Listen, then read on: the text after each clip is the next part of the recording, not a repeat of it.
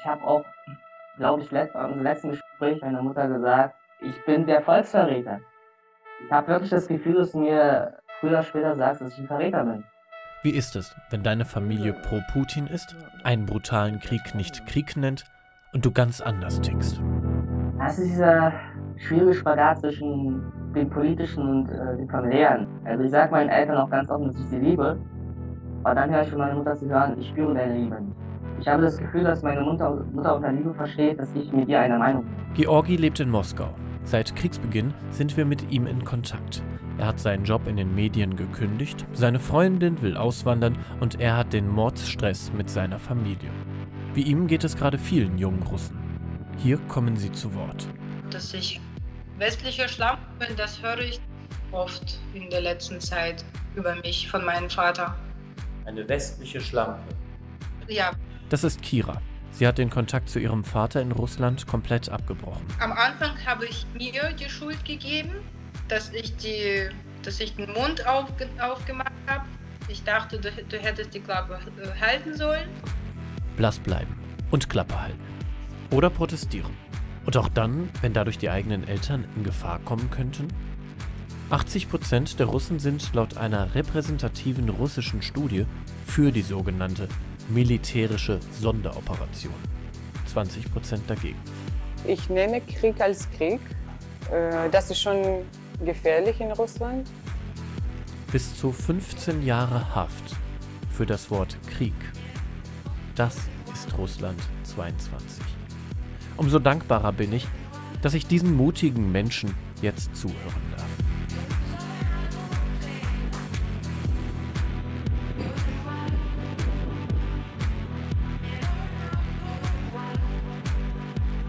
Bei dieser Recherche habe ich mich ab und an ertappt gefühlt, denn auch in meinem privaten Umfeld gibt es Situationen, in denen etwas Politisches angesprochen wird und ich komplett anderer Meinung bin, ich dann aber schweige, weil ich keine Lust auf den Konflikt habe. Wie müssen sich erst Russinnen und Russen fühlen, die Putins Propaganda nicht auf den Leim gehen und jetzt abwägen müssen, ob sie mit ihren Freunden, Bekannten, mit der Familie in den Clinch gehen? Politik und Familie das kann ein ganz schönes Minenfeld sein. Geh mir weg. Anastasia kann dem nicht aus dem Weg gehen. Will sie auch gar nicht. Sie ist 24 und studiert freie Kunst in Bremen. Ich mag politische Kunst, denn Kunst spricht, wenn die Worte fehlen. Ich war fast die ganze meine Kindheit da und wir waren alle so wie Urlaub, äh, Feiertage, Urlaub. Wir alle gehen zu unserem Landhaus und äh, trinken Tee den ganzen Tag und essen Borsch, weil äh, meine Große, Großmutter äh, macht sehr schöne Borsch. Wer sind die drei? Ähm, einige von meiner Familie. Deshalb gibt es kein Gesichter.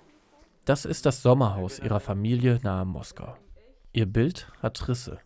Vor zweieinhalb Jahren war sie das letzte Mal im Sommerhaus, trank Tee mit ihren Eltern und ihrer Oma, die aus der Ukraine stammt. Wenn ich die vielleicht sehe, werde ich so zwei Stunden weinen, umarmen, umarmen. Hast du denn die Hoffnung, dass du deine Familie bald wieder siehst? Ja, wir planen schon, vielleicht nicht in Russland. Sondern? Irgendwo so Zwischenort weil die haben auch nicht so viel Geld um Reisen. Und ich habe auch nicht, gar, gar kein Geld. Wie denkst du über den Krieg? Äh, vielleicht wir filmen da ein bisschen mhm. so nicht äh, mit alle Ja. Okay, ja. Sie mag ihre Worte in Ruhe wählen.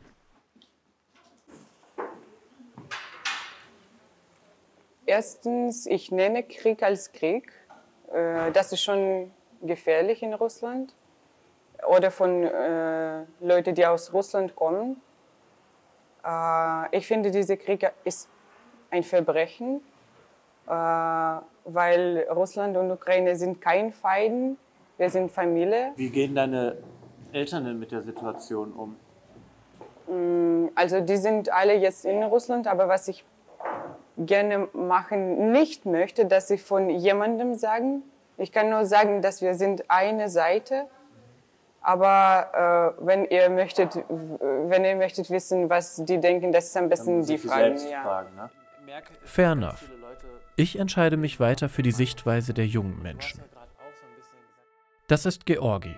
Er heißt eigentlich anders, hat eine längere Zeit in Deutschland gelebt und wohnt jetzt wieder in Moskau. Direkt zu Kriegsbeginn sagt er, was er denkt. Ich hatte immer ein Problem damit, das äh, als Faschismus zu benennen. Aber Leute, das ist Faschistoid, was jetzt hier geschieht. Also ich kann jetzt jeden Passanten anhalten und äh, nach dem Pass fragen, nach, äh, sogar nach dem Handy fragen. Also es ist jetzt schon so sehr strikt geworden. Dieses Misstrauen den Mitmenschen gegenüber, das ist schlimm. Das ist, äh, dass du jetzt verpfiffen werden könntest oder denunziert und sowas. Das ist das Schlimme. Das ist diese äh, paranoide Welt, in der du jetzt lebst und du kannst niemandem vertrauen. Wann hast du eigentlich das letzte Mal mit deinen Eltern gesprochen? Meine Kollegin Imke spricht fast wöchentlich mit Georgi. Als Zwei-Kollektiv veröffentlichen wir seine Story auf unserem Instagram-Kanal. Die nächsten Monate fährt er emotional Achterbahn. Je länger der Krieg dauert, desto fremder werden ihm seine eigenen Eltern. Ich bin zu meinen Eltern hingegangen, ich habe ihnen alles sofort, äh, ja, Tacheles geredet mit denen. Ich habe ihnen gesagt, äh, das ist totaler Wahnsinn hier, den ich nicht mitmachen will. Und meine Eltern hatten zu dem Moment noch keinen richtigen Standpunkt. Das ist interessant. Der Standpunkt kam erst nach drei, vier Tagen wo es dann plötzlich hieß, Biolabore, ja, äh, die Ukraine hat jetzt äh, Massenvernichtungswaffen entwickelt, die sie gegen die, die armen Russen anwenden wollte und sowas. Ich halte meine Eltern für keine dummen Menschen. Und mittlerweile tendiere ich dazu, äh, zu sagen, dass die Menschen eine Entscheidung getroffen haben. Ich will jetzt nicht sagen, dass alle gebrainwashed sind. So ist es nicht. Es gibt bestimmt soziale Gruppen oder Menschen, die äh, weniger nachdenken. Aber jedes Mal, wenn so ein Konflikt aufstand, dann heißt es plötzlich, wir müssen uns verteidigen und das vereint die Welt. Das, das, das kennt man auch aus der Politologie. Äh, Konflikte, Kriege vereinen bestimmte Gruppen. Und meine Eltern gehören zu der Gruppe. Die fühlen sich jetzt wirklich angegriffen. Georgi erzählt sehr rational über seine Eltern. Wir haben den Eindruck, er will sie wirklich verstehen. Doch das Verhältnis wird schlechter. Ich habe auch, glaube ich, im letzten Gespräch meiner Mutter gesagt, ich bin der Volksverräter. Ich habe wirklich das Gefühl, dass du mir früher oder später sagst, dass ich ein Verräter bin.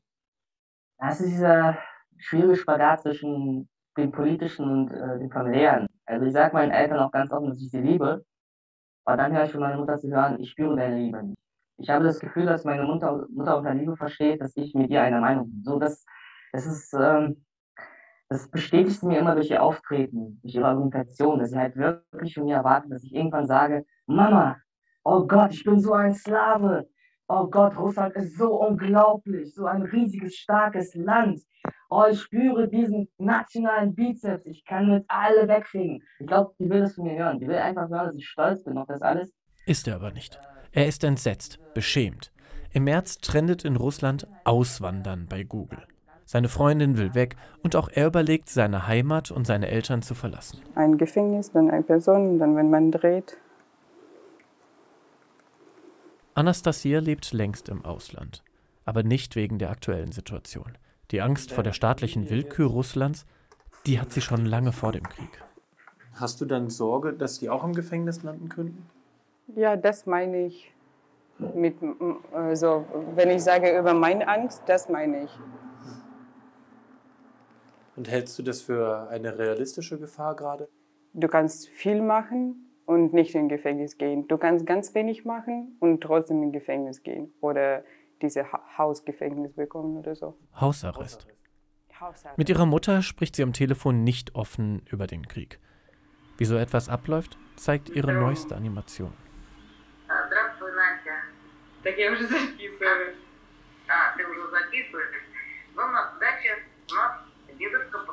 Bei mir, für mich das sieht so aus. Es gibt sehr schwere Punkte, es gibt äh, ganz äh, fragile Punkte, worüber wir sprechen, ganz so, äh, dass wir vermissen einander und dann, ja, also bei mir, das erzählt mehr, als ich kann wörtlich sagen.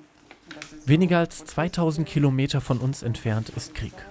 Da fliegen die Bomben. Ein völliger, überflüssiger, unbegründeter, menschenverachtender Angriffskrieg bei dem laut UN schon 4000 Zivilisten starben und Kriegsverbrechen ohne Ende geschehen.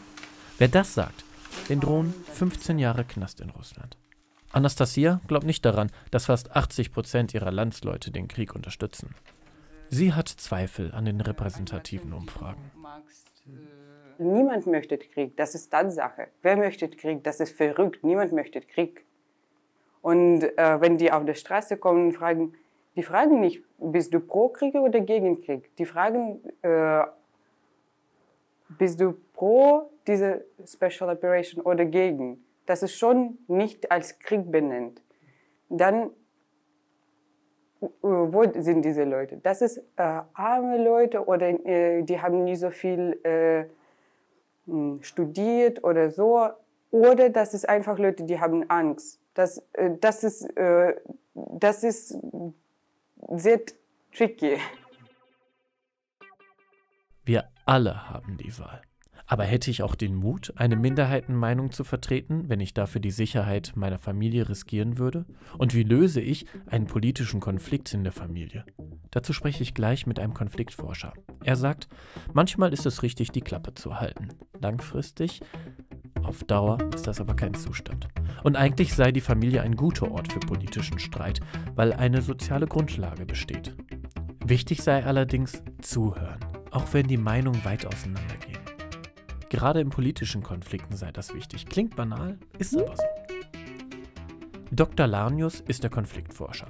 Ich will wissen, wie man diskutiert, wenn der andere mit Fake News oder Verschwörungstheorien argumentiert. Wenn man diesen Konflikt lösen will, muss man das an der Stelle über sich ergehen lassen. Äh, und dann kann man vielleicht sich so ein bisschen auf das konzentrieren, worin man übereinstimmt. Ne, also dass man sagt, okay, darüber stimmen wir jetzt nicht überein, aber es gibt vielleicht ein paar andere Dinge, da ähm, finden wir Gemeinsamkeiten und diese Gemeinsamkeiten sind essentiell, wenn wir überhaupt irgendeine Art von Fortkommen in dem Gespräch haben wollen. Äh, es wurde oft gesagt, ne, dass äh, ne, Argumente und Fakten, dass das nichts bringt und so. Das ist das, immer wieder rumgeistert. Das stimmt aber nicht. Also es ist echt ein Mythos, ähm, dass Argumente und Fakten nichts nützen würden. Ähm, denn natürlich bringen die was. Ne? Sie bringen natürlich nicht den schnellen, sofortigen Sieg in Anführungszeichen in der Diskussion, dass man damit unmittelbar jemand anderen überzeugen würde. Ja, aber es ist ähm, tatsächlich das einzige Mittel und es ist nachweisbar auch ein Mittel, das in solchen Situationen was bringt. Es lohnt sich also, Fakten zu droppen, auch wenn es mühsam ist. Alles Gute Ihnen. Tschüss. Ja. Das ist Kira aus Leipzig. Mit ihrem Vater will sie absolut nichts mehr zu tun haben. Ihr eigener Vater beschimpft sie als westliche Schlampe. Warum er so denkt? Weil sie den Krieg bei Insta eine Schande genannt hat. Also die ersten zwei Wochen war ich, habe ich geheult jeden Tag und wir, wir konnten nur passieren, naja, wir konnten es nur passieren, wir, wir sind doch eine Familie und jetzt habe ich gar keine. Aber jetzt habe ich mich damit abgefunden. Sie hat akzeptieren müssen, dass ihr Vater ein Faschist ist, sagt sie. Der Konfliktforscher rät in solchen Fällen, die Politik erstmal beiseite zu schieben. Auf eine Wellenlänge kommt nur, wer wieder an der emotionalen Bindung arbeitet. Leichter gesagt als getan, behaupte ich jetzt mal. Also am Anfang habe ich mir die Schuld gegeben, dass ich, die, dass ich den Mund auf, aufgemacht habe. Ich dachte, du, du hättest die Klappe äh, halten sollen. Also ich habe das zu mir gedacht so. Das, Ihr Papa tickt nicht erst seit Putin anders als sie. Aber jetzt ist der Streit eben eskaliert. Natürlich hat die Propaganda viel, viele Sachen beigetragen, das ist sowieso. Aber ich denke, die, nicht, die Propaganda verblödet die Menschen nicht, die ist für die Blöden und für, solchen Menschen, für solche Menschen gemacht. Das ist so. Und weil ich habe ja, ich bin genauso aufgewachsen wie die ganzen Menschen, die jetzt so denken. Große Sorgen macht sie sich um ihre Mutter, dass auch sie in den Strudel gerissen wird, obwohl sie eigentlich sehr freiheitsliebend ist. Im Streit ging es um unser Interview. Ihre Mama war dagegen. Kira wollte aber unbedingt mit mir sprechen. Sie will, dass ihre Stimme gehört wird, auch wenn das bedeutet, dass sie noch weiter familiär isoliert ist. Sie ist nicht allein. Ich arbeite viel und ich habe hier, wie gesagt, tolle Freunde in Leipzig. Ich bin glücklich hier und ich, wenn, mir schlecht, wenn es mir schlecht geht, dann kann ich jemanden anrufen, mich mit jemandem treffen und dann ist es besser. Georgi hat sich zu Kriegsbeginn Grenzen gesetzt. Wenn Medien eingeschränkt werden, dann ist er weg. Längst geschehen. Und er ist immer noch in Moskau. Ich habe Verpflichtungen hier. Also ich muss für meine Eltern sorgen. Ich kann sie einfach nicht hier alleine lassen. Sie haben hier keine, keine Familie, keine Verwandten, auch wenig Freunde. Also es ist so mein, ich habe so eine Verantwortung für das alles. Wenigstens in einer Stadt zu bleiben, ist schon wichtig. Oder in einem Land wenigstens. Seine Freundin bleibt dabei. Sie wird auswandern. Und ich verstehe mich auch ein bisschen selbst dass ich diese, diese, diese Linien, die ich selbst gezogen habe, sie verschieben sich immer weiter und irgendwann habe ich das Gefühl, dass ich überhaupt nicht den Mumm habe, das Land zu verlassen. Ich weiß nicht. Vielleicht mache ich mir selbst etwas vor. Ob Anastasia wieder nach Russland zurückkehren wird, weiß sie noch nicht. Gerade kontrolliert sie unser Interview. Die Sorge, sie könnte etwas Falsches gesagt haben, ist immer da. Alles okay. Nichts Schlimmes dabei. Abschlussfrage. Glaubst du, du kannst mit deiner Kunst was bewegen? Mm, Oder was ist deine Hoffnung? Ich, ich mag eigentlich gar nicht so diese Hoffnung-Wort, Warum nicht? weil das, das irgendwie, äh, das, das ist zu ruhig. Also bei mir, da steht das ein bisschen so ruhige Fühlen. Ja. Ah, ich habe jetzt Hoffnung, dann ich habe schon etwas. Aber wenn du hast keine Hoffnung, du sollst was machen, Anastasia findet, wer hofft, ja. hofft halt nur. Das ist schwach. So. Sie macht lieber was. Finde ich stark. Ich möchte mich bei allen Gesprächspartnern bedanken. Einblicke in die Familienstrukturen zu geben und in die Probleme. Das ist so etwas Intimes und ähm, ich weiß, wie viele Gedanken ihr euch gemacht habt, ob ihr uns diese Interviews geben möchtet oder nicht. Also ganz, ganz, ganz, ganz großen Dank. Ähm, ich habe einen riesen Respekt davor, dass ihr öffentlich eure Meinung sagt und zu euren Werten steht. Und ich hoffe, dass dieser Film auch Menschen Mut macht, die aus nachvollziehbaren Gründen bisher nicht öffentlich ihre Meinung gesagt haben. Und falls euch jetzt dieses Thema weiter interessiert, wir haben Georgi über Wochen und Monate sogar begleitet. Ihr findet Videos von ihm bei uns ähm, auf Instagram und wir haben auch die ukrainische Sichtweise über Wochen begleitet. Ihr findet Videos von Alexandra ähm, auch ebenfalls auf Instagram. Und jetzt interessiert mich natürlich noch, was ihr denkt. Hättet ihr den Mut, ja, dass, dass ihr euch gegen eure Eltern positioniert oder wie würdet ihr abwägen? Also schreibt es gerne in die Kommentare.